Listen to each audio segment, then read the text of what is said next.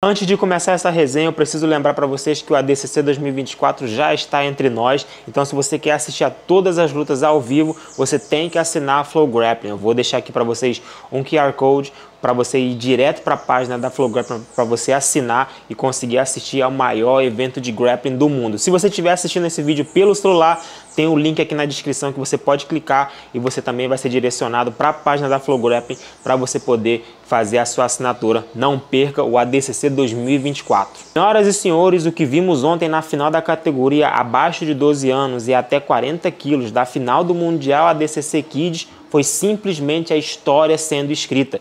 Isso porque Daniel 220 e Ícaro Moreno entregaram pra gente uma das melhores lutas que a gente poderia ver. Falar que os dois têm um altíssimo nível técnico é chover no molhado. Normalmente a gente está sempre vendo ambos entregando lutas muito empolgantes, muito para frente, muito técnicas, mas eu confesso a vocês que a luta de ontem me deixou muito impressionado. O nível técnico apresentado pelo Ícaro e pelo Daniel foi, um, foi algo assombroso, algo que a gente normalmente só vê em lutas de faixas pretas. A luta entre os dois ela começou muito bem estudada, com ambos tentando fazer o collar tie, marcar a posição, tentando ter uma, uma posição de dominância logo no início da luta. Alguns segundos depois, o Ícaro, numa apresentação de um under muito técnico, muito justo, muito rápido, quase pegou as costas do Daniel, mas pro azar do atleta da AOJ, Daniel estava com a defesa de costas muito em dia, conseguiu fazer a reversão e quase caiu nos 100 quilos. Ícaro conseguiu repor a guarda muito rápido e a partir daí a gente viu um Daniel muito agressivo. Ele não parava na frente do Ícaro em momento nenhum, obviamente sabia do perigo que era ficar estático na frente de um Ícaro, que é muito perigoso. Então ele se movimentava o tempo inteiro, atacava o tempo inteiro para tentar chegar do lado. Ícaro sempre se defendia muito bem, ao mesmo tempo que tentava embolar nas pernas do Daniel, mas o Daniel estava muito rápido, conseguiu chegar nas costas, colocar os ganchos e a partir dali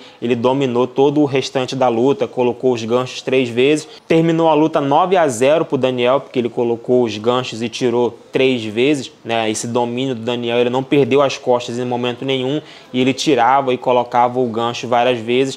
Acabou terminando a luta por 9 a 0 consagrando-se assim campeão da DCC Kids numa luta fenomenal. Mas vamos ser bem sinceros, o resultado aqui ele pouco importa. O que realmente importa foi o alto nível técnico entregue por ambos.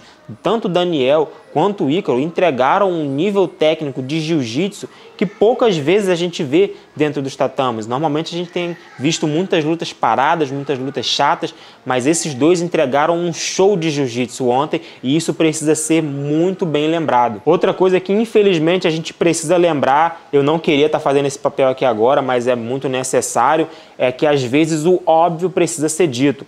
E a gente precisa lembrar que eles são duas crianças, pessoal. O que a gente viu nos comentários do vídeo da, do resultado da luta do Daniel contra o Ícaro foi um show de horrores. Nós precisamos lembrar, pessoal, que nós estamos falando de duas crianças que estão em formação, que estão em processo de amadurecimento, que estão em crescimento.